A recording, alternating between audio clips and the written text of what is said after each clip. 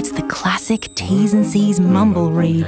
We all do it. Mm-hmm. We start off strong with good intentions and then we oh. run out of steam.